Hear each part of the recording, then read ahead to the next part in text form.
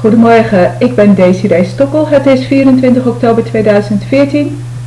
Soldaten worden bedreigd via het internet, sociale media zoals YouTube. Ja, dat is geregeld door de militaire vakbonden, de koninklijke familie, het parlement, de leidinggevende bij politie, marechaussee, reddingsmaatschappijen, advocatenorde, de rechtspraak en het internationaal strafhof. En defensie. De hele nep-veiligheidslobby van Nederland regelt dat zo.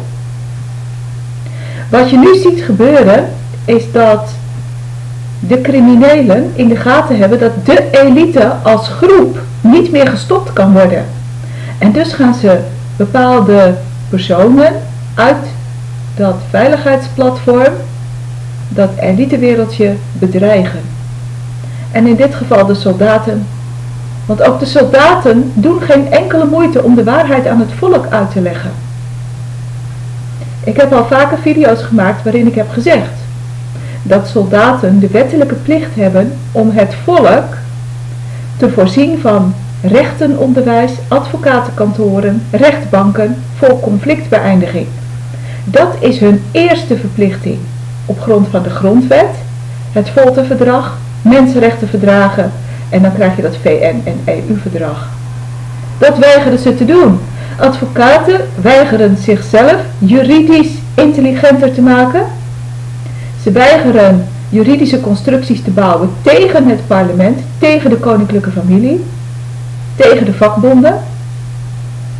En ze weigeren dus het volk te leren conflicten te beëindigen zonder geweld.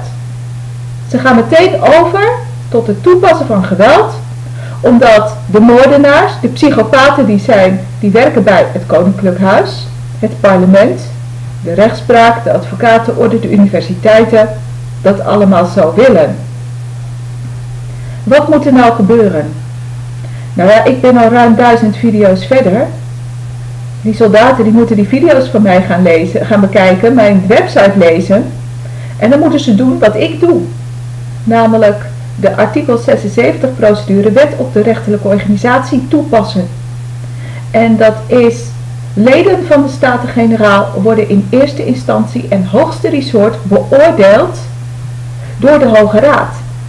Nou, dankzij mijn dossier van de rechtszaak tegen Nederland bij het internationaal strafhof weten ze dat de Hoge Raad corrupt is. Dat de rechtspraak, de advocatenorde en de politici gezamenlijk regelen dat zij burgers mogen folteren en vermoorden via die nep-veiligheidslobby die ook gaat via het internationaal strafhof.